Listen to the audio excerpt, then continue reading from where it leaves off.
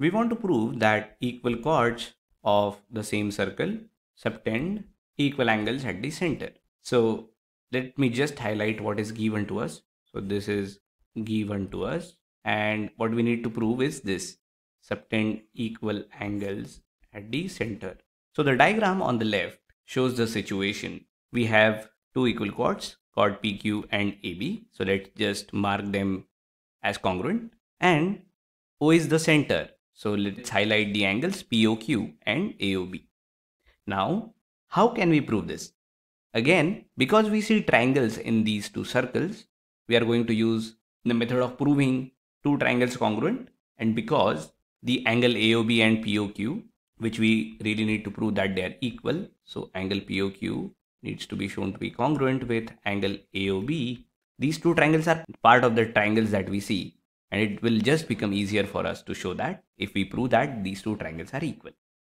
Now to show the triangle congruent, we need at least three corresponding elements to be congruent. So let's consider two triangles in triangle POQ and in triangle AOB. Let's let's note down what do we observe about different corresponding elements. We know that OP, OQ, OA and OB are all radii, right? So let me just mark them with same sign since th those will be equal. And I can find that OP and OA are corresponding elements. So can I write OA is equal to OP? Yes, I can. And the reason for it is that both are the radii of the circle. Next corresponding element pair that I can consider is another radii pair.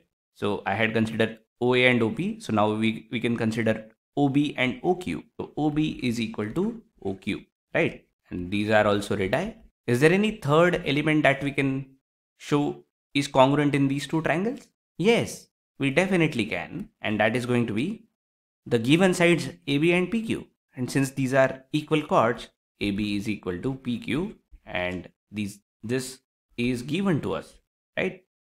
And now we have three corresponding elements from both the triangles to be congruent and therefore triangle POQ is congruent with triangle AOB.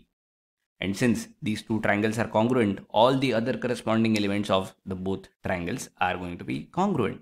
And therefore, this means all the corresponding angles are also congruent. And we can say that angle AOB is congruent with angle POQ. And this is what we needed to prove. And we can conclude that equal chords of the same circle subtend equal angles at the center. I am using the word same circle but if we have congruent circles and if we have equal chords in both of them, then as well, the angles that both of those chords will subtend at the center will be equal. By the way, which property that we used to show these two triangles to be congruent? All our sides. So S, S, S, that's what we used. So we can say that these two triangles are congruent by S, S, S test of congruency of triangles.